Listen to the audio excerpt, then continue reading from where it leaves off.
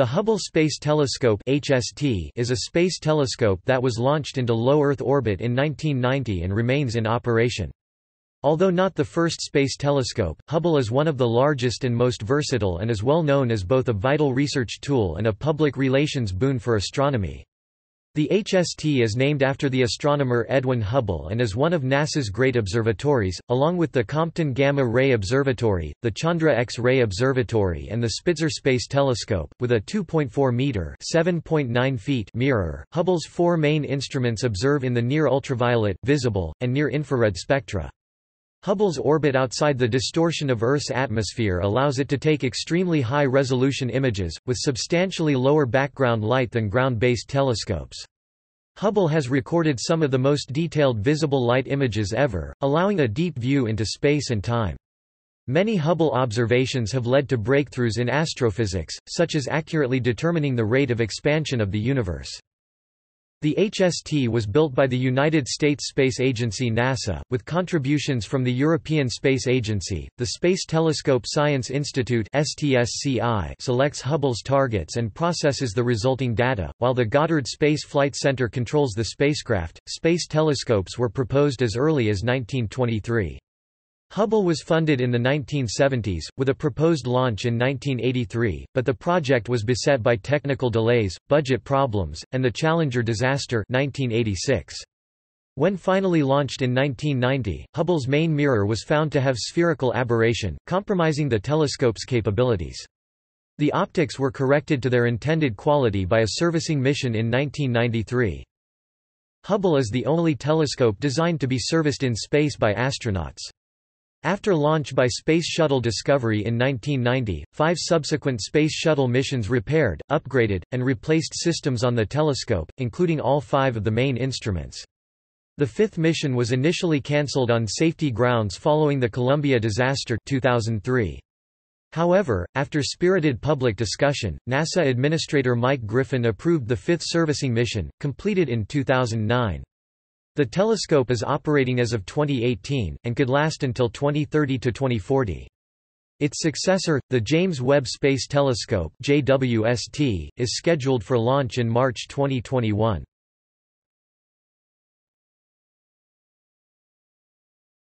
Topic: Conception, design and aim.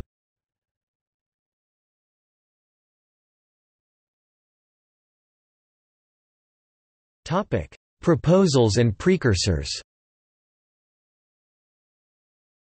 In 1923, Hermann Oberth considered a father of modern rocketry, along with Robert H. Goddard and Konstantin Tsiolkovsky published Die Rakete zu den Planetenräumen, The Rocket into Planetary Space, which mentioned how a telescope could be propelled into Earth orbit by a rocket. The history of the Hubble Space Telescope can be traced back as far as 1946, to the astronomer Lyman Spitzer's paper, Astronomical Advantages of an Extraterrestrial Observatory. In it, he discussed the two main advantages that a space-based observatory would have over ground-based telescopes.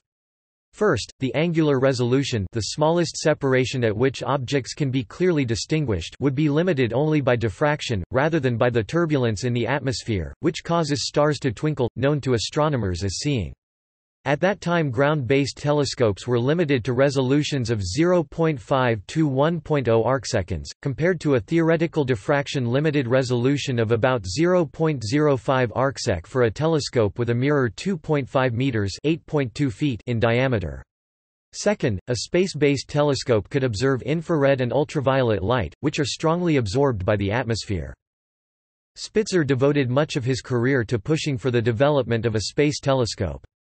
In 1962, a report by the U.S. National Academy of Sciences recommended the development of a space telescope as part of the space program, and in 1965 Spitzer was appointed as head of a committee given the task of defining scientific objectives for a large space telescope. Space-based astronomy had begun on a very small scale following World War II, as scientists made use of developments that had taken place in rocket technology.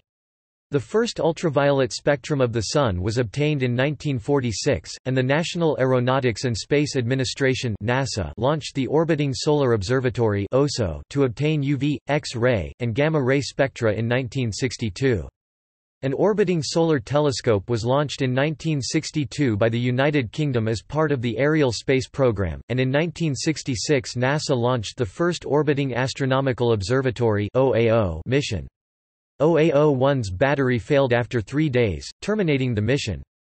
It was followed by OAO-2, which carried out ultraviolet observations of stars and galaxies from its launch in 1968 until 1972. Well beyond its original planned lifetime of one year, the OSO and OAO missions demonstrated the important role space-based observations could play in astronomy, and in 1968, NASA developed firm plans for a space-based reflecting telescope with a mirror 3 meters (9.8 feet) in diameter, known provisionally as the Large Orbiting Telescope or Large Space Telescope (LST), with a launch slated for 1979. These plans emphasized the need for manned maintenance missions to the telescope to ensure such a costly program had a lengthy working life, and the concurrent development of plans for the reusable Space Shuttle indicated that the technology to allow this was soon to become available.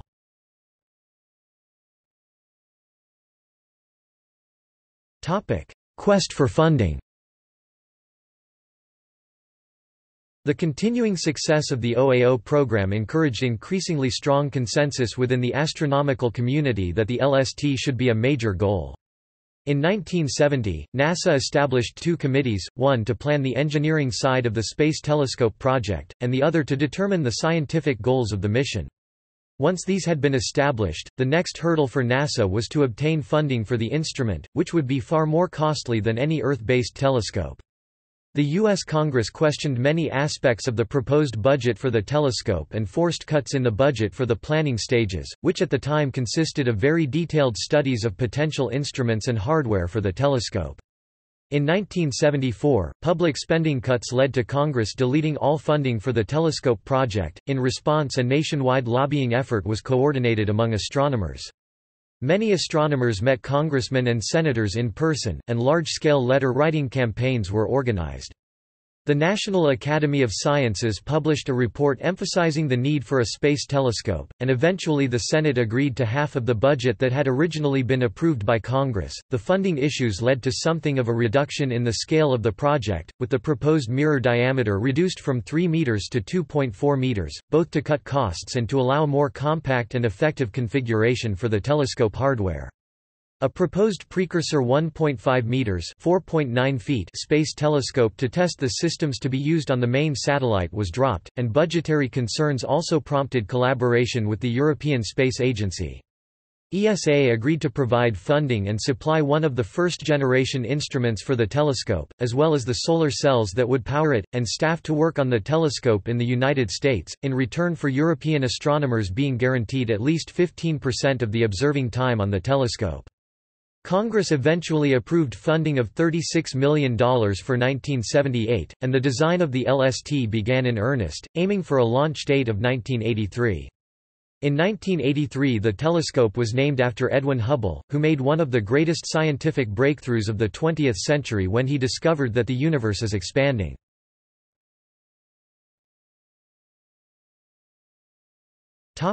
Construction and engineering Once the Space Telescope project had been given the go-ahead, work on the program was divided among many institutions. Marshall Space Flight Center MSFC was given responsibility for the design, development, and construction of the telescope, while Goddard Space Flight Center was given overall control of the scientific instruments and ground control center for the mission. MSFC commissioned the optics company Perkin-Elmer to design and build the Optical Telescope Assembly and fine guidance sensors for the Space Telescope. Lockheed was commissioned to construct and integrate the spacecraft in which the telescope would be housed.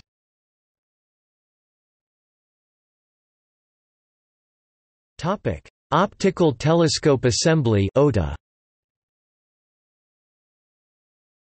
Optically, the HST is a Cassegrain reflector of Ritchey-Chrétien design, as are most large professional telescopes.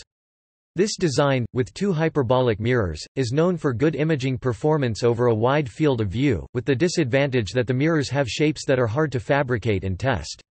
The mirror and optical systems of the telescope determine the final performance, and they were designed to exacting specifications. Optical telescopes typically have mirrors polished to an accuracy of about a tenth of the wavelength of visible light, but the Space Telescope was to be used for observations from the visible through the ultraviolet shorter wavelengths and was specified to be diffraction limited to take full advantage of the space environment. Therefore, its mirror needed to be polished to an accuracy of 10 nanometers (0.4 micro-inches), or about 1/65th of the wavelength of red light. On the long wavelength end, the OTA was not designed with optimum IR performance in mind. For example, the mirrors are kept at stable and warm, about 15 degrees Celsius temperatures by heaters. This limits Hubble's performance as an infrared telescope. Perkin-Elmer intended to use custom-built and extremely sophisticated computer-controlled polishing machines to grind the mirror to the required shape. However, in case their cutting-edge technology ran into difficulties, NASA demanded that PE sub-contract to Kodak to construct a backup mirror using traditional mirror polishing techniques. The team of Kodak and Itek also bid on the original mirror polishing work. Their bid called for the two companies to double-check each other's work, which would have almost certainly caught the polishing error that later caused such problems. The Kodak mirror is now on permanent display at the National Air and Space Museum. An Itek mirror built as part of the effort is now used in the 2.4 meters telescope at the Magdalena Ridge Observatory. Construction of the Perkin-Elmer mirror began in 1979, starting with a blank manufactured by Corning from their ultra-low expansion glass. To keep the mirror's weight to a minimum it consisted of top and bottom plates, each 1 inch 25 mm thick, sandwiching a honeycomb lattice. Perkin-Elmer simulated microgravity by supporting the mirror from the back with 130 rods that exerted varying amounts of force. This ensured that the mirror's final shape would be correct and to specification when finally deployed. Mirror polishing continued until May 1981. NASA reports at the time questioned Perkin-Elmer's managerial structure, and the polishing began to slip behind schedule and over budget. To save money, NASA halted work on the backup mirror and put the launch date of the telescope back to October 1984. The mirror was completed by the end of 1981. It was washed using 2,400 U.S. gallons 9,100 L of hot, deionized water and then received a reflective coating of 65 nm thick 2.6 mu in aluminum and a protective coating of 25 nm thick 0.98 mu in magnesium fluoride. Doubts continued to be expressed about Perkin-Elmer's competence on a project of this importance, as their budget and timescale for producing the rest of the OTA continued to inflate. In response to a schedule described as unsettled and changing daily, NASA postponed the launch date of the telescope until April 1985.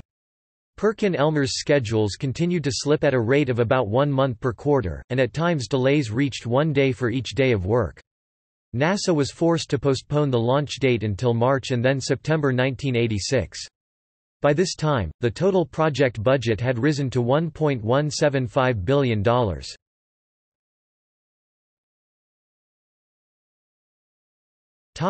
Spacecraft systems. The spacecraft in which the telescope and instruments were to be housed was another major engineering challenge. It would have to withstand frequent passages from direct sunlight into the darkness of Earth's shadow, which would cause major changes in temperature, while being stable enough to allow extremely accurate pointing of the telescope. A shroud of multi-layer insulation keeps the temperature within the telescope stable and surrounds a light aluminum shell in which the telescope and instruments sit. Within the shell, a graphite epoxy frame keeps the working parts of the telescope firmly aligned. Because graphite composites are hygroscopic, there was a risk that water vapor absorbed by the truss while in Lockheed's clean room would later be expressed in the vacuum of space, resulting in the telescope's instruments being covered by ice.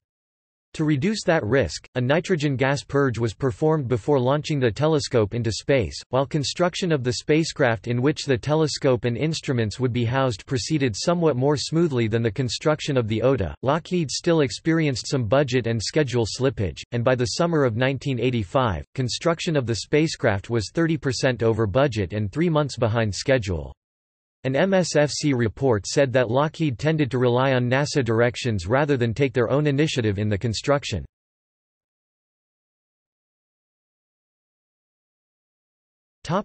Computer systems and data processing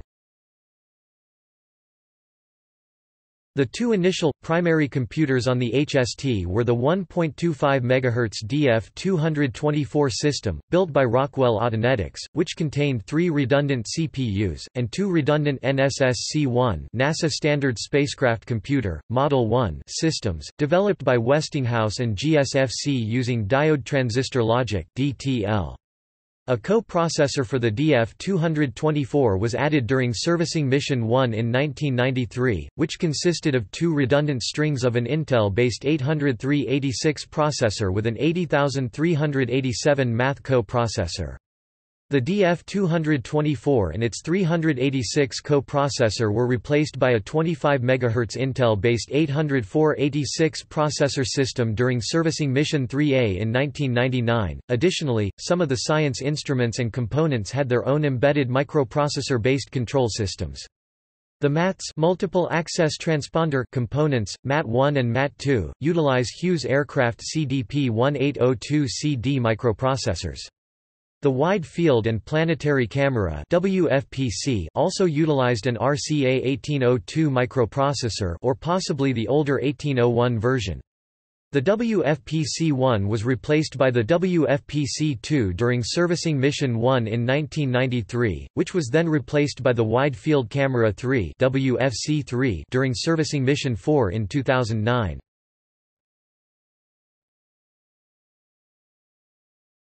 Topic: Initial instruments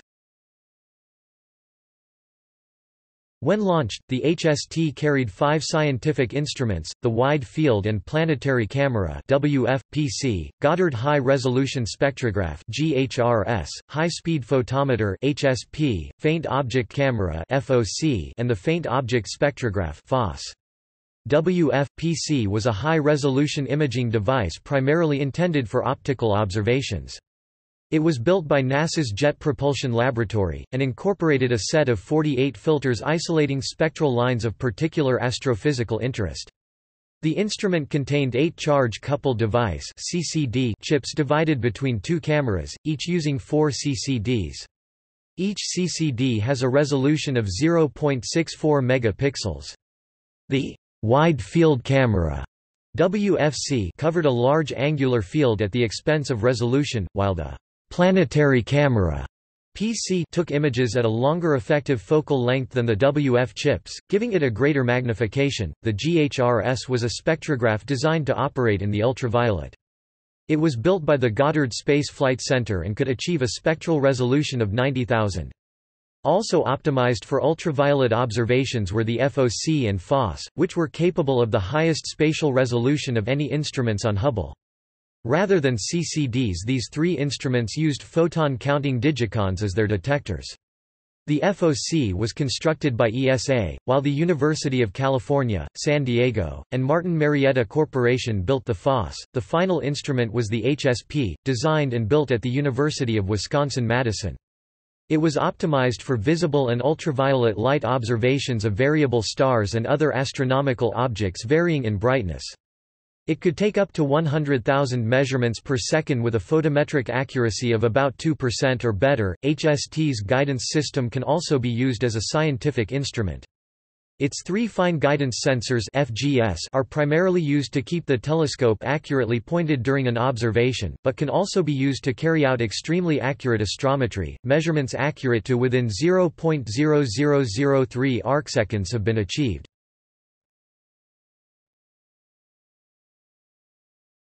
Topic: Ground support.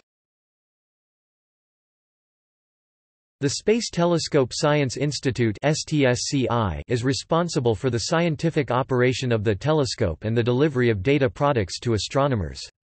STSCI is operated by the Association of Universities for Research in Astronomy and is physically located in Baltimore, Maryland on the Homewood campus of Johns Hopkins University, one of the 39 U.S. universities and seven international affiliates that make up the AURA consortium. STSCI was established in 1981 after something of a power struggle between NASA and the scientific community at large. NASA had wanted to keep this function in-house, but scientists wanted it to be based in an academic establishment. The Space Telescope European Coordinating Facility ECF, established at Garching bei München near Munich in 1984, provided similar support for European astronomers until 2011, when these activities were moved to the European Space Astronomy Centre. One rather complex task that falls to STSCI is scheduling observations for the telescope. Hubble is in a low Earth orbit to enable servicing missions, but this means that most astronomical targets are occulted by the Earth for slightly less than half of each orbit. Observations cannot take place when the telescope passes through the South Atlantic anomaly due to elevated radiation levels, and there are also sizable exclusion zones around the Sun precluding observations of Mercury, Moon and Earth. The solar avoidance angle is about 50 degrees, to keep sunlight from illuminating any part of the OTA. Earth and Moon avoidance keeps bright light out of the FGSs, and keeps scattered light from entering the instruments. If the FGSs are turned off, however, the Moon and Earth can be observed. Earth observations were used very early in the program to generate flat fields for the WFPC-1 instrument. There is a so-called continuous viewing zone CVZ, at roughly 90 degrees to the plane of Hubble's orbit, in which targets are not occulted for long periods. Due to the precession of the orbit, the location of the CVZ moves slowly over a period of eight weeks. Because the limb of the Earth is always within about 30 degrees of regions within the CVZ, the brightness of scattered Earthshine may be elevated for long periods during CVZ observations. Hubble orbits in low Earth orbit at an altitude of approximately 540 kilometers (340 miles) and an inclination of 28.5 degrees. The position along its orbit changes over time in a way that is not accurately predictable. The density of the upper atmosphere varies according to many factors, and this means that Hubble's predicted position for six weeks' time could be in error by up to 4,000 kilometers 2,500 miles. Observation schedules are typically finalized only a few days in advance, as a longer lead time would mean there was a chance that the target would be unobservable by the time it was due to be observed. Engineering support for HST is provided by NASA and contractor personnel at the Goddard Space Flight Center in Greenbelt, Maryland, 48 kilometers (30 miles) south of the STSCI. Hubble's operation is monitored 24 hours per day by four teams of flight controllers who make up Hubble's flight operations team.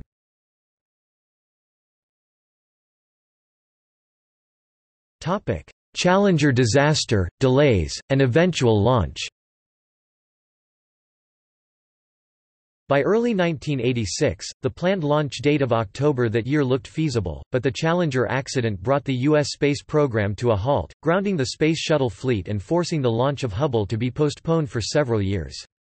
The telescope had to be kept in a clean room, powered up and purged with nitrogen, until a launch could be rescheduled.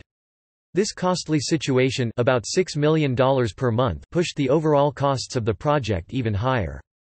This delay did allow time for engineers to perform extensive tests, swap out a possibly failure-prone battery, and make other improvements.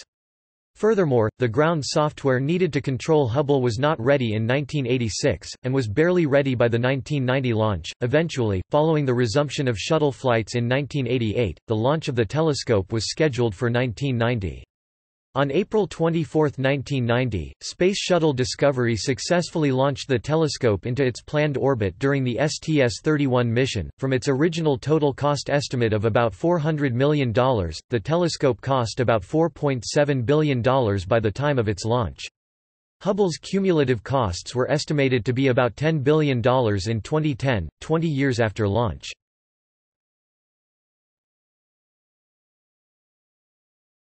Topic: List of Hubble instruments Hubble accommodates five science instruments at a given time, plus the fine guidance sensors, which are mainly used for aiming the telescope but are occasionally used for science astrometry. Early instruments were replaced with more advanced ones during the shuttle servicing missions. COSTAR was strictly a corrective optics device rather than a true science instrument, but occupied one of the five instrument bays. Since the final servicing mission in 2009, the four active instruments have been ACS, COS, STIS and WFC3. NICMOS is kept in hibernation, but may be revived if WFC3 were to fail in the future. Advanced Camera for Surveys ACS, 2002 present Cosmic Origins Spectrograph COS, 2009 present Corrective Optics Space Telescope Axial Replacement COSTAR, 1993–2009 Faint Object Camera FOC, 1990–2002 Faint Object Spectrograph FOS, 1990–1997 Fine Guidance Sensor FGS, 1990–present Goddard High Resolution Spectrograph GHRS, hours, 1990–1997 High Speed Photometer HSP, 1990 to 1993 Near Infrared Camera and Multi-Object Spectrometer NICMOS, 1997–present, hibernating since 2008 Space Telescope Imaging Spectrograph STIS, 1997–present non-operative 2004 to 2009 Wide Field and Planetary Camera WFPC 1990 to 1993 Wide Field and Planetary Camera 2 WFPC 2 1993 to 2009 Wide Field Camera 3 WFC 3 2009 present of the former instruments 3 COSTAR FOS and WFPC 2 are displayed in the Smithsonian National Air and Space Museum. The FOC is in the Dornier Museum Germany. The HSP is in the Space Place at the University of Wisconsin-Madison. The first WFPC was dismantled, and some components were then reused in WFC-3. The current location of GHRS is unclear.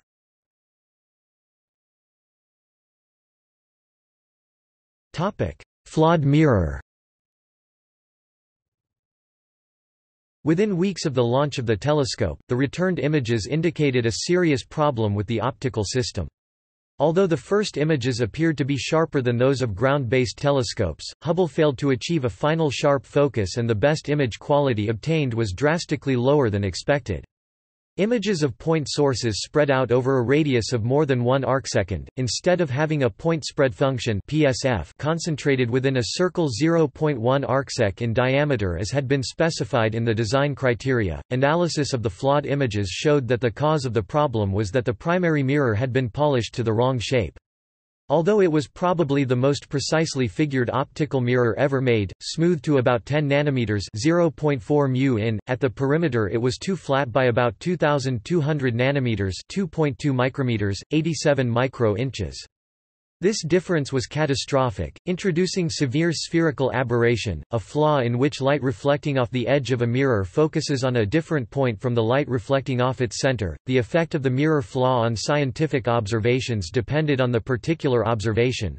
The core of the aberrated PSF was sharp enough to permit high-resolution observations of bright objects, and spectroscopy of point sources was only affected through a sensitivity loss. However, the loss of light to the large, out-of-focus halo severely reduced the usefulness of the telescope for faint objects or high-contrast imaging. This meant that nearly all of the cosmological programs were essentially impossible, since they required observation of exceptionally faint objects. NASA and the telescope became the butt of many jokes, and the project was popularly regarded as a white elephant. For instance, in the 1991 comedy The Naked Gun Two and a Half, The Smell of Fear, Hubble was pictured with Lusitania, the Hindenburg, and the Edsel. Nonetheless, during the first three years of the Hubble mission, before the optical corrections, the telescope still carried out a large number of productive observations of less demanding targets. The error was well characterized and stable, enabling astronomers to partially compensate for the defective mirror by using sophisticated image processing techniques such as deconvolution.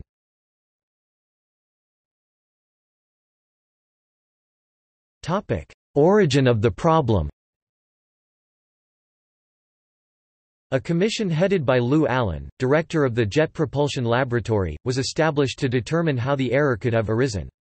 The Allen Commission found that a reflective null corrector, a testing device used to achieve a properly shaped non-spherical mirror, had been incorrectly assembled. One lens was out of position by 1.3 mm (0.051 in). During the initial grinding and polishing of the mirror, Perkin-Elmer analyzed its surface with two conventional refractive null correctors. However, for the final manufacturing step figuring, they switched to the custom-built reflective null corrector, designed explicitly to meet very strict tolerances. The incorrect assembly of the device resulted in the mirror being ground very precisely but to the wrong shape. A few final tests, using the conventional null correctors, correctly reported spherical aberration. But these results were dismissed, thus missing the opportunity to catch the error. Because the reflective null corrector was considered more accurate, the Commission blamed the failings primarily on Perkin-Elmer. Relations between NASA and the optics company had been severely strained during the telescope construction, due to frequent schedule slippage and cost overruns. NASA found that Perkin-Elmer did not review or supervise the mirror construction adequately, did not assign its best optical scientists to the project as it had for the prototype, and in particular did not involve the optical designers in the construction and verification of the mirror. While the Commission heavily criticized Perkin-Elmer for these managerial failings, NASA was also criticized for not picking up on the quality control shortcomings, such as relying totally on test results from a single instrument.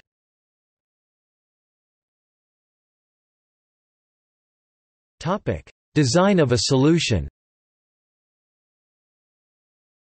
The design of the telescope had always incorporated servicing missions, and astronomers immediately began to seek potential solutions to the problem that could be applied at the first servicing mission, scheduled for 1993.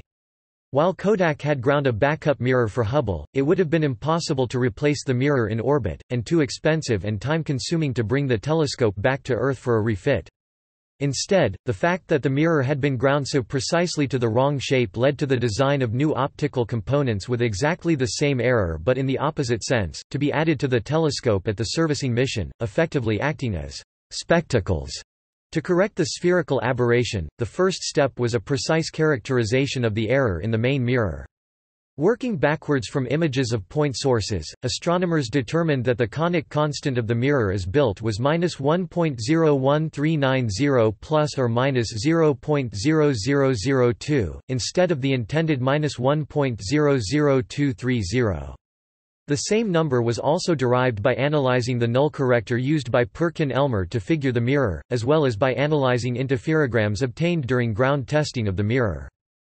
Because of the way the HST's instruments were designed, two different sets of correctors were required. The design of the Wide Field and Planetary Camera 2, already planned to replace the existing WF-PC, included relay mirrors to direct light onto the four separate charge-coupled device CCD chips making up its two cameras. An inverse error built into their surfaces could completely cancel the aberration of the primary. However, the other instruments lacked any intermediate surfaces that could be figured in this way, and so required an external correction device. The Corrective Optics Space Telescope Axial Replacement (COSTAR) system was designed to correct the spherical aberration for light focused at the FOC, FOS, and GHRS. It consists of two mirrors in the light path with one ground to correct the aberration. To fit the COSTAR system onto the telescope, one of the other instruments had to be removed, and astronomers selected the high-speed photometer to be sacrificed. By 2002, all of the original instruments requiring COSTAR had been replaced by instruments with their own corrective optics. COSTAR was removed and returned to Earth in 2009 where it is exhibited at the National Air and Space Museum. The area previously used by COSTAR is now occupied by the Cosmic Origins spectrograph.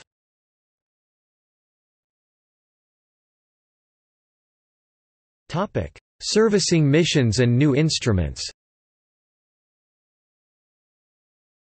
Hubble was designed to accommodate regular servicing and equipment upgrades while in orbit. Instruments and limited life items were designed as orbital replacement units. Five servicing missions SM-1, 2, 3A, 3B, and 4 were flown by NASA Space Shuttles, the first in December 1993 and the last in May 2009. Servicing missions were delicate operations that began with maneuvering to intercept the telescope in orbit and carefully retrieving it with the shuttle's mechanical arm. The necessary work was then carried out in multiple tethered spacewalks over a period of four to five days. After a visual inspection of the telescope, astronauts conducted repairs, replaced failed or degraded components, upgraded equipment, and installed new instruments. Once work was completed, the telescope was redeployed, typically after boosting to a higher orbit to address the orbital decay caused by atmospheric drag.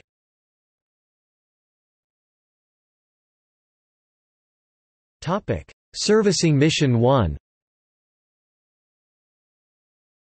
After the problems with Hubble's mirror were discovered, the first servicing mission assumed greater importance, as the astronauts would need to do extensive work to install corrective optics. The seven astronauts for the mission were trained to use about a hundred specialized tools. SM-1 flew aboard Endeavour in December 1993, and involved installation of several instruments and other equipment over 10 days. Most importantly, the high-speed photometer was replaced with the COSTAR corrective optics package, and WFPC was replaced with the Wide Field and Planetary Camera 2 WFPC-2 with an internal optical correction system. The solar arrays and their drive electronics were also replaced, as well as four gyroscopes in the telescope pointing system, two electrical control units and other electrical components, and two magnetometers. The onboard computers were upgraded with added coprocessors, and Hubble's orbit was boosted. On January 13, 1994, NASA declared the mission a complete success and showed the first sharper images. The mission was one of the most complex performed up until that date, involving five long extravehicular activity periods. Its success was a boon for NASA, as well as for the astronomers who now had a more capable space telescope.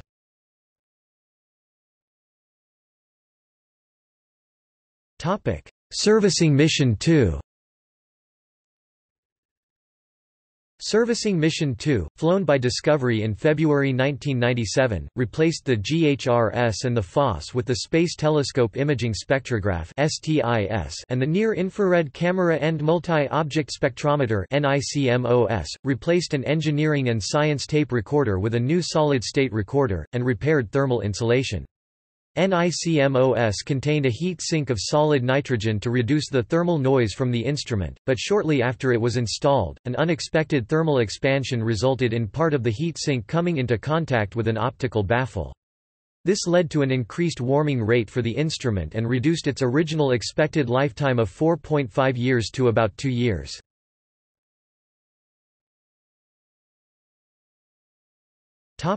Servicing Mission 3A Servicing Mission 3A, flown by Discovery, took place in December 1999, and was a split-off from Servicing Mission 3 after three of the six onboard gyroscopes had failed.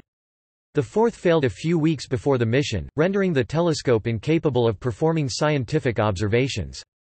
The mission replaced all six gyroscopes, replaced a fine guidance sensor and the computer, installed a voltage, temperature improvement kit to prevent battery overcharging, and replaced thermal insulation blankets. The new computer is 20 times faster, with 6 times more memory, than the DF-224 it replaced. It increases throughput by moving some computing tasks from the ground to the spacecraft and saves money by allowing the use of modern programming languages.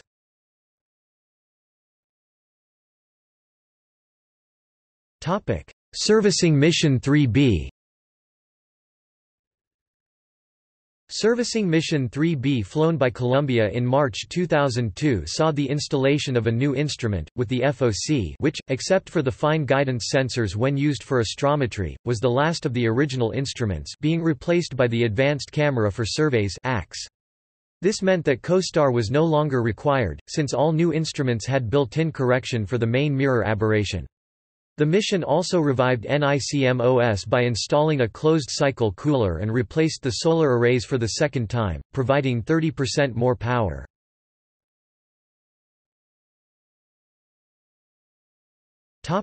Servicing Mission 4 Plans called for Hubble to be serviced in February 2005, but the Columbia disaster in 2003, in which the orbiter disintegrated on re-entry into the atmosphere, had wide-ranging effects on the Hubble program. NASA Administrator Sean O'Keefe decided that all future shuttle missions had to be able to reach the safe haven of the International Space Station should in-flight problems develop.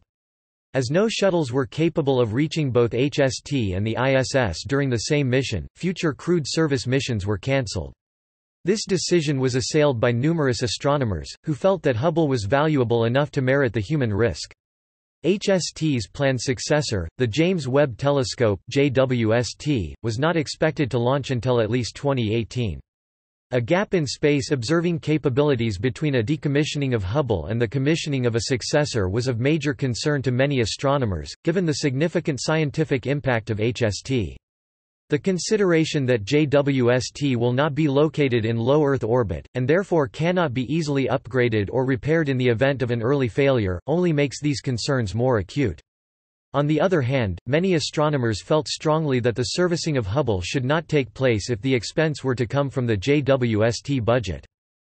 In January 2004, O'Keefe said he would review his decision to cancel the final servicing mission to HST due to public outcry and requests from Congress for NASA to look for a way to save it. The National Academy of Sciences convened an official panel, which recommended in July 2004 that the HST should be preserved despite the apparent risks. Their report urged, NASA should take no actions that would preclude a Space Shuttle servicing mission to the Hubble Space Telescope. In August 2004, O'Keefe asked Goddard Space Flight Center to prepare a detailed proposal for a robotic service mission. These plans were later cancelled, the robotic mission being described as not feasible. In late 2004, several congressional members, led by Senator Barbara Mikulski, held public hearings and carried on a fight with much public support including thousands of letters from school children across the country to get the Bush administration and NASA to reconsider the decision to drop plans for a Hubble rescue mission. The nomination in April 2005 of a new NASA administrator with an engineering rather than accounting background, Michael D. Griffin, changed the situation, as Griffin stated he would consider a manned servicing mission. Soon after his appointment Griffin authorized Goddard to proceed with preparations for a manned Hubble maintenance flight, saying he would make the final decision after the next two shuttle missions. In October 2006 Griffin gave the final go-ahead, and the 11-day mission by Atlantis was scheduled for October 2008. Hubble's main data handling unit failed in September 2008, halting all reporting of scientific data until its backup was brought online on October 25, 2008. Since a failure of the backup unit would leave the HST helpless, the service mission was postponed to incorporate a replacement for the primary unit. Servicing Mission 4, flown by Atlantis in May 2009, was the last scheduled shuttle mission for HST. SM-4 installed the replacement data handling unit, repaired the ACS and STIS systems, installed improved nickel-hydrogen batteries, and replaced other components. SM-4 also installed two new observation instruments, Wide Field Camera 3 WFC3 and the Cosmic Origins Spectrograph COS, and the Soft Capture and Rendezvous System, which will enable the future rendezvous, capture, and safe disposal of Hubble by either a crewed or robotic mission. Except for the ACS's high-resolution channel which could not be repaired and was disabled, the work accomplished during SM4 rendered the telescope fully functional, and it remains so as of 2018.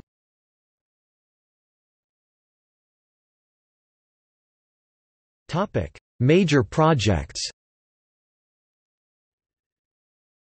Since the start of the program, a number of research projects have been carried out, some of them almost solely with Hubble, others coordinated facilities such as Chandra X-ray Observatory and ESO's Very Large Telescope. Although the Hubble Observatory is nearing the end of its life, there are still major projects scheduled for it. One example is the upcoming Frontier Fields program, inspired by the results of Hubble's deep observation of the galaxy cluster Abell 1689.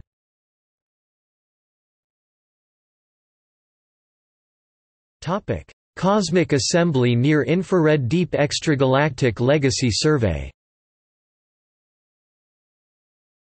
In an August 2013 press release, CANDELS was referred to as the largest project in the history of Hubble. The survey aims to explore galactic evolution in the early universe, and the very first seeds of cosmic structure at less than 1 billion years after the Big Bang. Quote, the CANDELS project site describes the survey's goals as the following The Cosmic Assembly near IR Deep Extragalactic Legacy Survey is designed to document the first third of galactic evolution from Z equals 8 to 1.5 via deep imaging of more than 250,000 galaxies with WFC3, IR and ACS. It will also find the first type Ia SNE beyond Z greater than 1.5 and establish their accuracy as standard candles for cosmology. Five premier multi-wavelength sky regions are selected, each has multi-wavelength data from Spitzer and other facilities, and has extensive spectroscopy of the brighter galaxies. The use of five widely separated fields mitigates cosmic variance and yields statistically robust and complete samples of galaxies down to 109 solar masses out to Z approximately 8.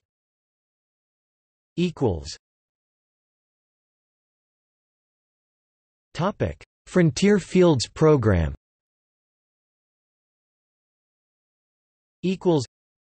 The program, officially named, Hubble Deep Fields Initiative 2012 is aimed to advance the knowledge of early galaxy formation by studying high redshift galaxies in blank fields with the help of gravitational lensing to see the faintest galaxies in the distant universe. The Frontier Fields web page describes the goals of the program being to reveal hitherto inaccessible populations of Z equals 5 to 10 galaxies that are 10 to 50 times fainter intrinsically than any presently known, to solidify our understanding of the stellar masses and star formation histories of sub-L galaxies at the earliest times, to provide the first statistically meaningful morphological characterization of star-forming galaxies at Z greater than 5, to find Z greater than 8 galaxies stretched out enough by cluster lensing to discern internal structure and or magnified enough by cluster lensing for spectroscopic follow-up.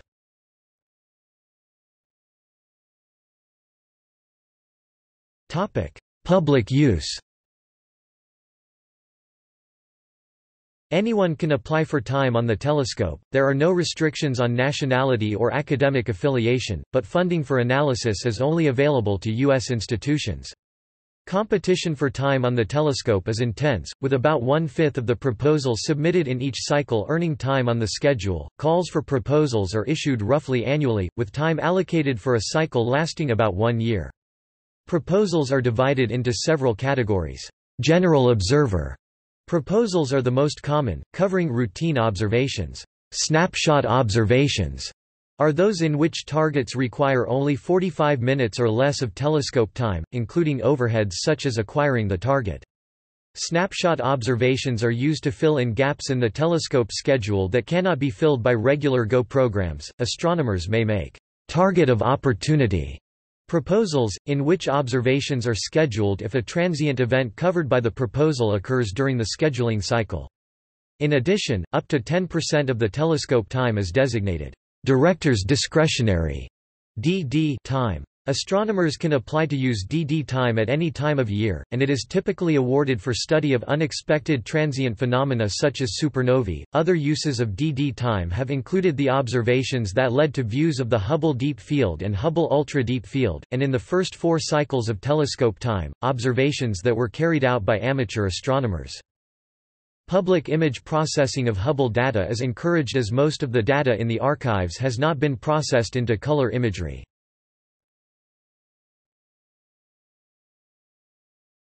Topic: Amateur observations. The first director of STSCI, Riccardo Giacconi, announced in 1986 that he intended to devote some of his director discretionary time to allowing amateur astronomers to use the telescope.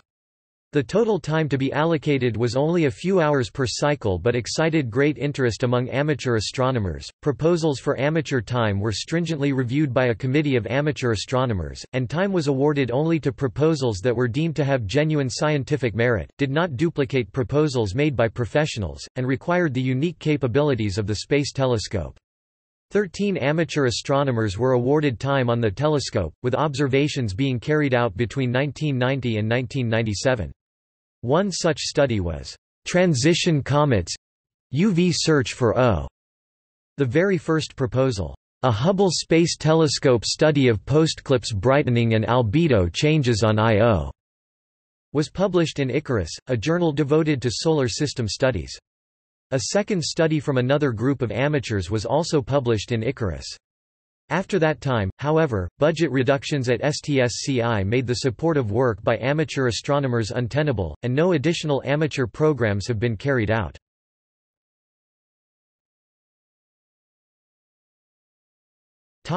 Scientific results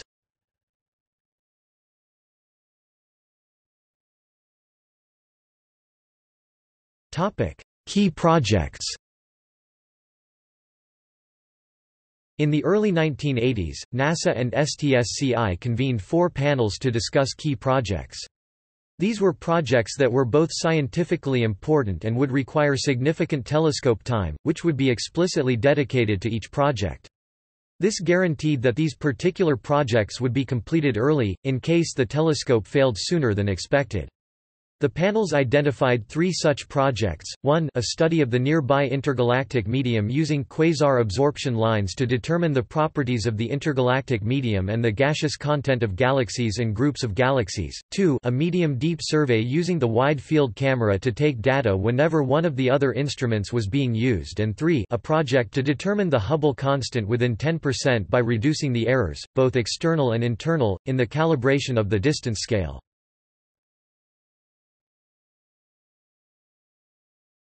Topic: Important discoveries. Hubble has helped resolve some long-standing problems in astronomy, while also raising new questions. Some results have required new theories to explain them. Among its primary mission targets was to measure distances to Cepheid variable stars more accurately than ever before, and thus constrain the value of the Hubble constant, the measure of the rate at which the universe is expanding, which is also related to its age.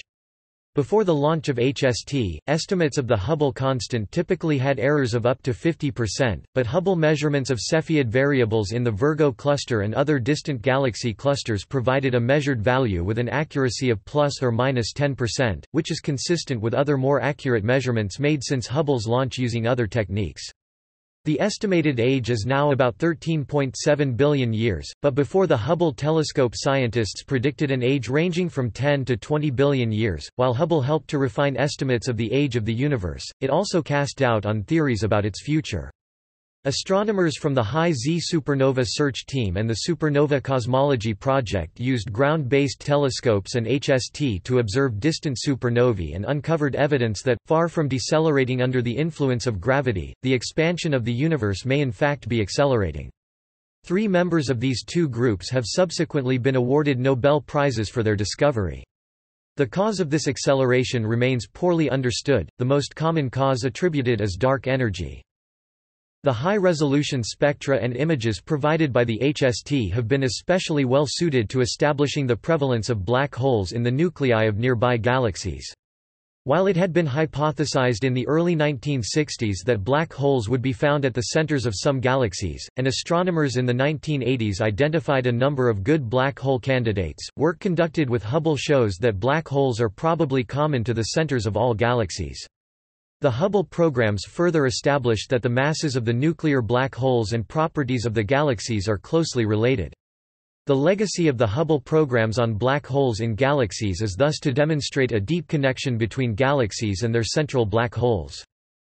The collision of comet Shoemaker-Levy 9 with Jupiter in 1994 was fortuitously timed for astronomers, coming just a few months after servicing Mission 1 had restored Hubble's optical performance.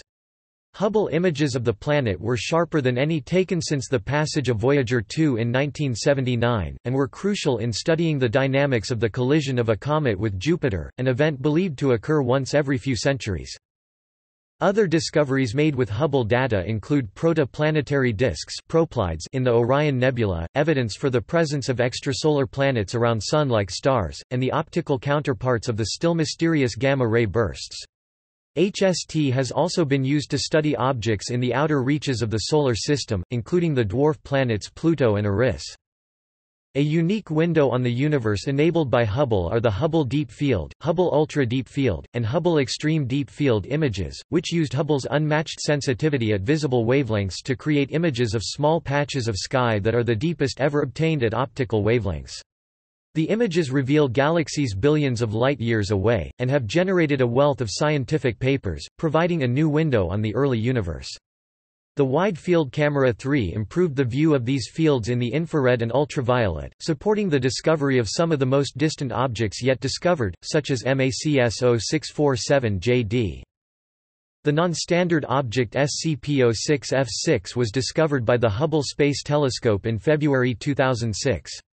During June and July 2012, U.S. astronomers using Hubble discovered a tiny fifth moon moving around icy Pluto. In March 2015, researchers announced that measurements of aurorae around Ganymede revealed that the Moon has a subsurface ocean. Using Hubble to study the motion of its aurorae, the researchers determined that a large saltwater ocean was helping to suppress the interaction between Jupiter's magnetic field and that of Ganymede. The ocean is estimated to be 100 kilometers 60 miles deep, trapped beneath a 150 kilometers 90 miles ice crust. On December 11, 2015, Hubble captured an image of the first ever predicted reappearance of a supernova, dubbed Refsdal, which was calculated using different mass models of a galaxy cluster whose gravity is warping the supernova's light. The supernova was previously seen in November 2014 behind galaxy cluster MACS J1149.5 plus 2223 as part of Hubble's Frontier Fields program. Astronomers spotted four separate images of the supernova in an arrangement known as an Einstein cross. The light from the cluster has taken about 5 billion years to reach Earth, though the supernova exploded some 10 billion years ago. The detection of Refsdal's reappearance served as a unique opportunity for astronomers to test their models of how mass, especially dark matter, is distributed within this galaxy cluster. On March 3, 2016, researchers using Hubble data announced the discovery of the farthest known galaxy to date, GN-z11. The Hubble observations occurred on February 11, 2015, and April 3, 2015, as part of the CANDELS, GOODS North surveys.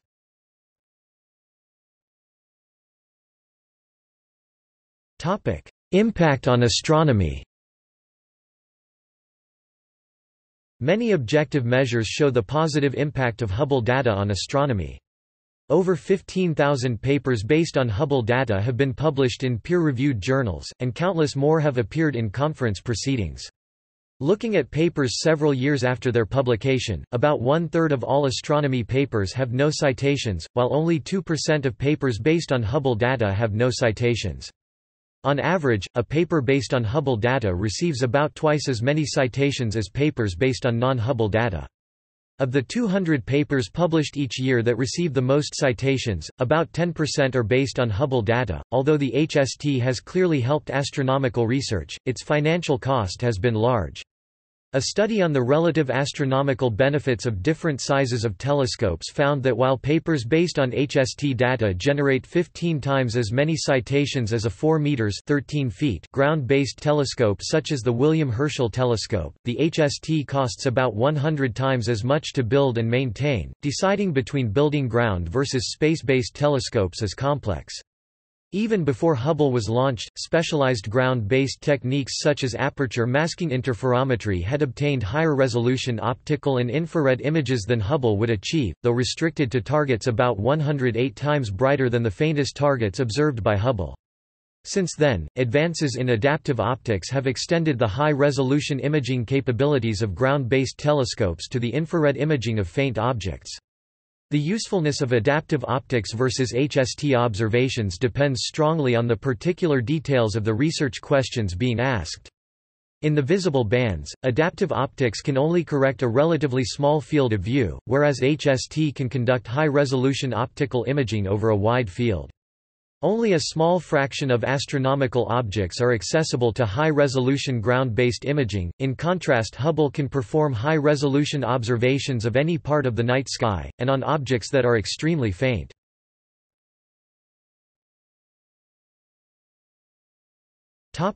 Aerospace engineering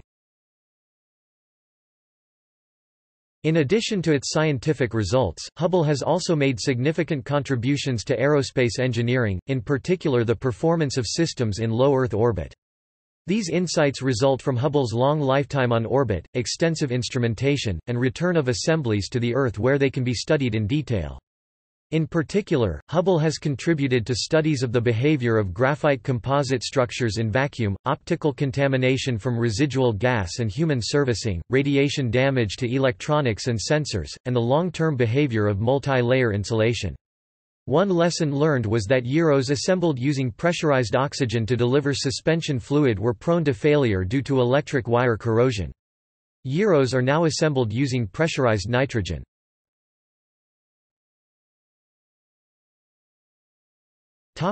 Hubble data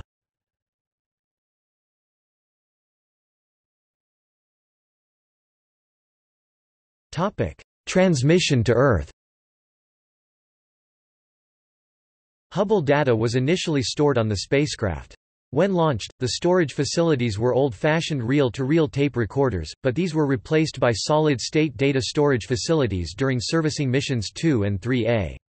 About twice daily, the Hubble Space Telescope radios data to a satellite in the Geosynchronous Tracking and Data Relay Satellite System which then downlinks the science data to one of two 60-foot diameter high-gain microwave antennas located at the White Sands Test Facility in White Sands, New Mexico.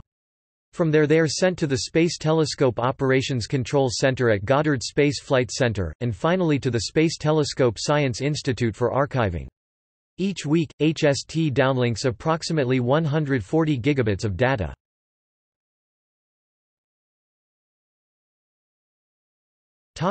Color images All images from Hubble are monochromatic grayscale, taken through a variety of filters, each passing specific wavelengths of light, and incorporated in each camera. Color images are created by combining separate monochrome images taken through different filters. This process can also create false color versions of images including infrared and ultraviolet channels, where infrared is typically rendered as a deep red and ultraviolet is rendered as a deep blue.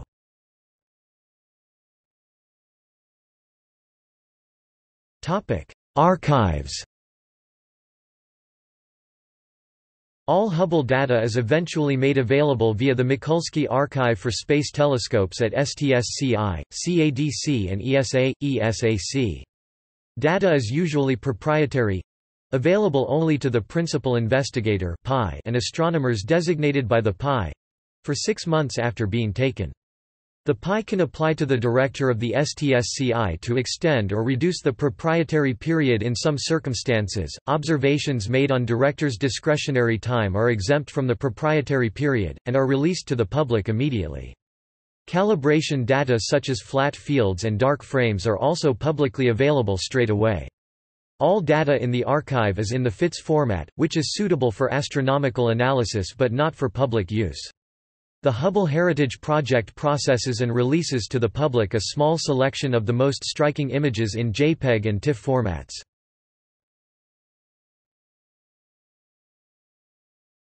Topic: Pipeline reduction Astronomical data taken with CCDs must undergo several calibration steps before they are suitable for astronomical analysis. STSCI has developed sophisticated software that automatically calibrates data when they are requested from the archive using the best calibration files available. This on-the-fly processing means that large data requests can take a day or more to be processed and returned. The process by which data is calibrated automatically is known as pipeline reduction, and is increasingly common at major observatories. Astronomers may if they wish retrieve the calibration files themselves and run the pipeline reduction software locally. This may be desirable when calibration files other than those selected automatically need to be used.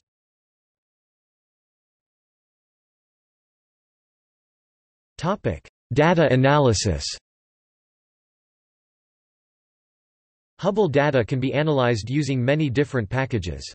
STSCI maintains the custom-made Space Telescope Science Data Analysis System software, which contains all the programs needed to run pipeline reduction on raw data files, as well as many other astronomical image processing tools, tailored to the requirements of Hubble data. The software runs as a module of IRAF, a popular astronomical data reduction program.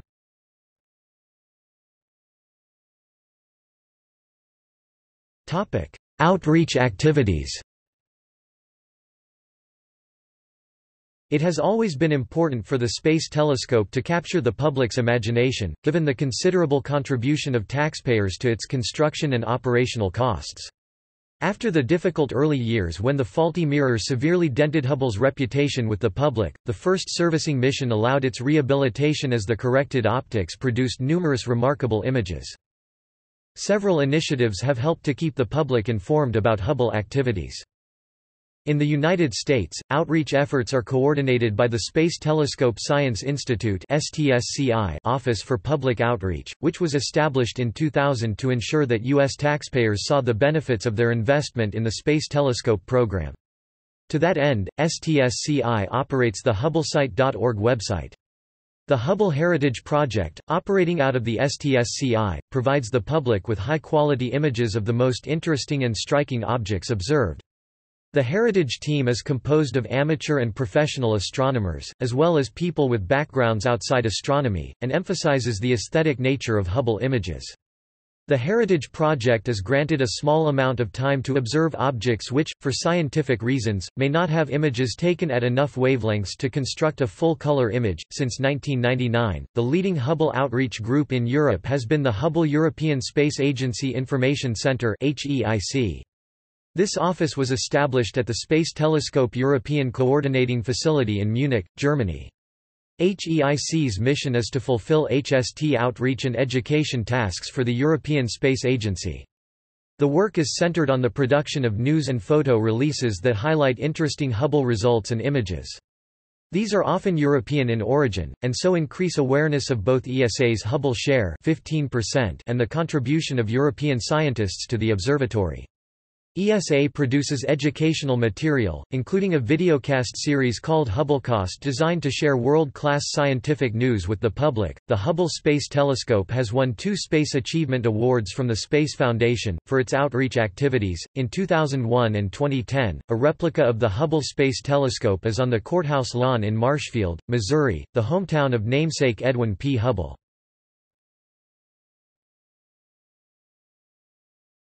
Topic. Celebration images The Hubble Space Telescope celebrated its 20th anniversary in space on April 24, 2010. To commemorate the occasion, NASA, ESA, and the Space Telescope Science Institute released an image from the Carina Nebula to commemorate Hubble's 25th anniversary in space on April 24, 2015. STSCI released images of the Westerlund II cluster, located about 20,000 light-years (6,100%) away in the constellation Carina, through its Hubble 25 website. The European Space Agency created a dedicated 25th anniversary page on its website. In April 2016, a special celebratory image of the Bubble Nebula was released for Hubble's 26th birthday.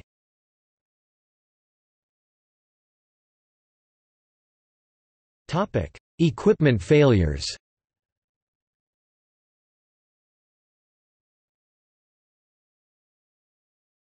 Topic: Instruments and electronics Past servicing missions have exchanged old instruments for new ones, both avoiding failure and making possible new types of science. Without servicing missions, all of the instruments will eventually fail. In August 2004, the power system of the Space Telescope Imaging Spectrograph failed, rendering the instrument inoperable. The electronics had originally been fully redundant, but the first set of electronics failed in May 2001. This power supply was fixed during servicing Mission 4 in May 2009. Similarly, the Advanced Camera for Surveys main camera primary electronics failed in June 2006, and the power supply for the backup electronics failed on January 27, 2007. Only the instrument's solar blind channel (SBC) was operable using the Side 1 electronics. A new power supply for the wide-angle channel was added during SM4, but quick tests revealed this did not help the high-resolution channel. The Wide Field Channel WFC was returned to service by STS-125 in May 2009 but the High Resolution Channel HRC remains offline.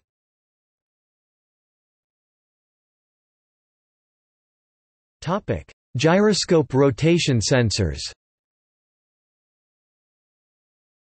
HST uses gyroscopes to detect and measure any rotations so it can stabilize itself in orbit and point accurately and steadily at astronomical targets. The gyroscopes are part of the pointing control system which has five types of sensor, magnetic sensors, various optical sensors and the gyros, and has two types of actuator, reaction wheels and magnetic torquers. It carries six gyroscopes in total. Three gyroscopes are normally required for operation, observations are still possible with two or one, but the area of sky that can be viewed would be somewhat restricted, and observations requiring very accurate pointing are more difficult. In 2018, the plan is to drop into one gyro mode if less than three working gyroscopes are operational. After the Columbia disaster in 2003, it was unclear whether another servicing mission would be possible, and gyro life became a concern again, so engineers developed new software for 2 gyro and 1 gyro modes to maximize the potential lifetime. The development was successful, and in 2005, it was decided to switch to 2 gyroscope mode for regular telescope operations as a means of extending the lifetime of the mission. The switch to this mode was made in August 2005, leaving Hubble with two gyroscopes in use, two on backup, and two inoperable. One more gyro failed in 2007, by the time of the final repair mission in May 2009, during which all six gyros were replaced with two new pairs and one refurbished pair, only three gyros were still working. Engineers determined that the gyro failures were caused by corrosion of electric wires powering the motor that was initiated by oxygen pressurized air used to deliver the thick suspending fluid. The new gyro models were assembled using pressurized nitrogen and they should be much more reliable. In the 2009 servicing mission all six gyroscopes were replaced, and after almost 10 years only three gyros failed, but only after exceeding the average expected run time for the design. Of the six gyroscopes replaced in 2009, three were of the old design susceptible for flex lead failure, and three were of the new design with a longer expected lifetime. The first of the old-style gyros failed in March 2014, and the second of the old-style gyros failed in April 2018. On October 5, 2018, the last of the old-style gyros failed, and one of the new-style gyros was powered up from standby state. However, that reserve gyro did not immediately perform within operational limits, and so the observatory was placed into safe mode while scientists attempted to fix the problem. NASA tweeted on October 22, 2018 that the rotation rates produced by the backup gyro have reduced and are now within a normal range. Additional tests to be performed to ensure Hubble can return to science operations. The solution that restored the backup new-style gyro to operational range was widely reported as turning it off and on again. A running restart of the gyroscope was performed, but this had no effect, and the final resolution to the failure was more complex. The failure was attributed to an inconsistency in the fluid surrounding the float within the gyroscope e.g., an air bubble. On October 18, 2018 the Hubble operations team directed the spacecraft into a series of maneuvers, moving the spacecraft in opposite directions, in order to mitigate the inconsistency. Only after the maneuvers, and a subsequent set of maneuvers on October 19, did the gyroscope truly operate within its normal range.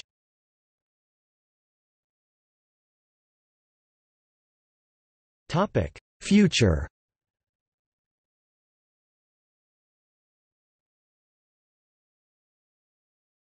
Topic: Orbital decay and controlled reentry. Hubble orbits the Earth in the extremely tenuous upper atmosphere, and over time its orbit decays due to drag. If it is not reboosted, it will re-enter the Earth's atmosphere within some decades, with the exact date depending on how active the Sun is and its impact on the upper atmosphere. If Hubble were to descend in a completely uncontrolled reentry, parts of the main mirror and its support structure would probably survive, leaving the potential for damage or even human fatalities. In 2013, Deputy Project Manager James Jeletic projected that Hubble could survive into the 2020s. Based on solar activity and atmospheric drag, or lack thereof, a natural atmospheric reentry for Hubble will occur between 2028 and 2040. In June 2016, NASA extended the service contract for Hubble until June 2021. NASA's original plan for safely deorbiting Hubble was to retrieve it using a space shuttle. Hubble would then have most likely been displayed in the Smithsonian Institution. This is no longer possible since the Space Shuttle fleet has been retired, and would have been unlikely in any case due to the cost of the mission and risk to the crew. Instead, NASA considered adding an external propulsion module to allow controlled reentry. Ultimately, in 2009, as part of Servicing Mission 4, the last servicing mission by the Space Shuttle, NASA installed the Soft Capture Mechanism (SCM) to enable deorbit by either a crewed or robotic mission. The SCM together with the Relative Navigation System (RNS) mounted on the shuttle to collect data to enable NASA to pursue numerous options for the safe deorbit of Hubble constitute the Soft Capture and Rendezvous System (SCRS).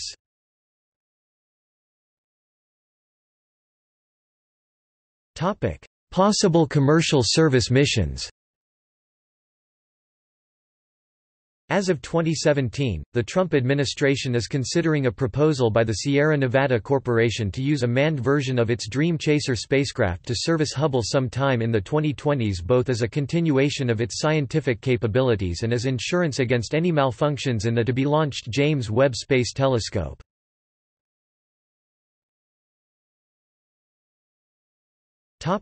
Successors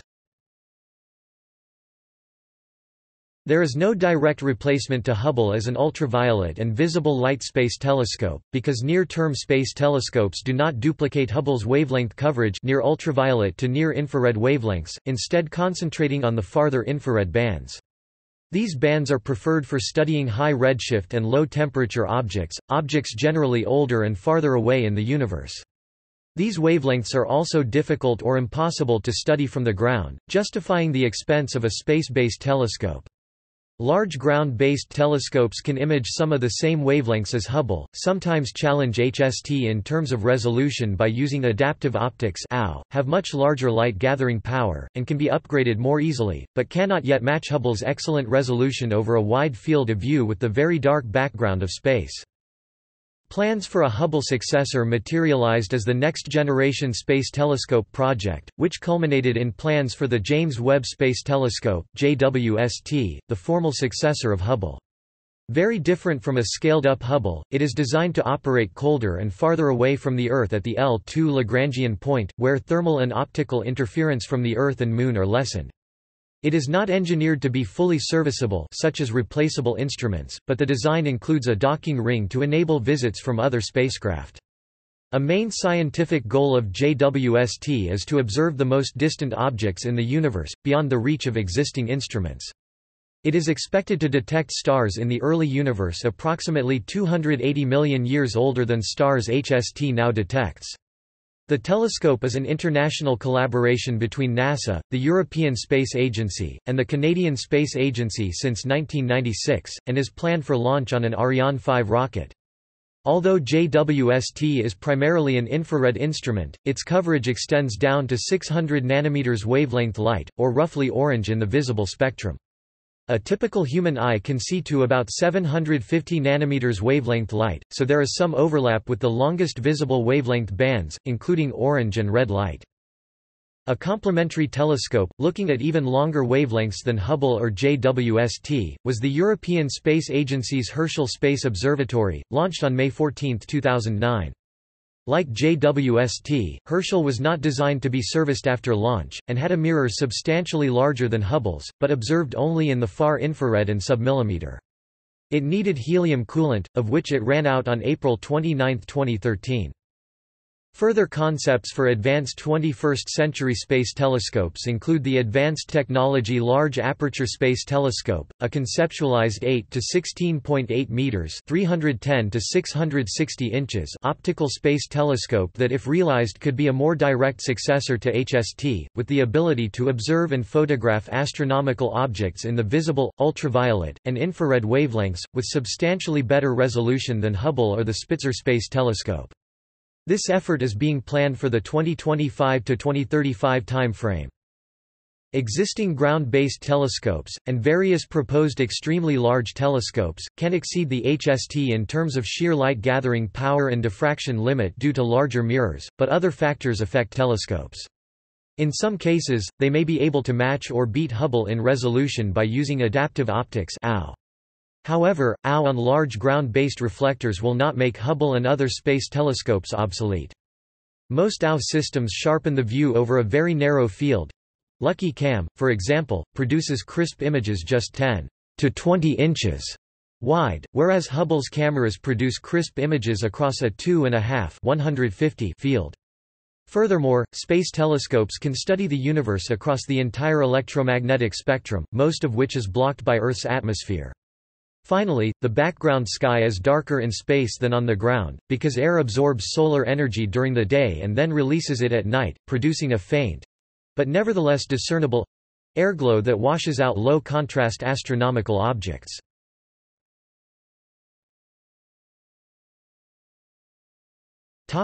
See also. List of largest optical reflecting telescopes List of largest infrared telescopes. List of space telescopes. Hubble 2010 documentary